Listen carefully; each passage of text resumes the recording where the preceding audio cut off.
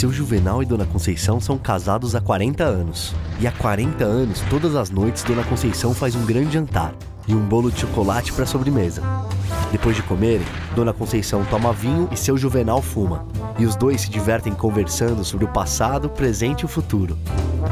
O casamento de seu Juvenal e Dona Conceição é muito saudável, mas eles têm pressão alta e poderiam ter mais saúde em suas vidas. Quer saber a receita para o bem-estar de quem sofre com a hipertensão? Primeiro, adicione alimentos com pouca gordura saturada. Depois, evite a adição de sal, molhos e caldos prontos nas refeições. Diminua o consumo de doces, bebidas com açúcar e evite o álcool. Pratique exercícios físicos pelo menos 5 vezes por semana. Não fume. Controle o estresse. Administre seus problemas com tranquilidade.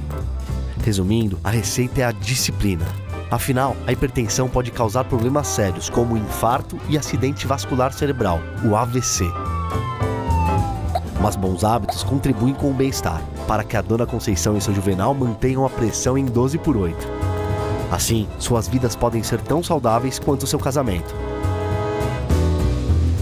Cuidar de você. Esse é o plano. Unimed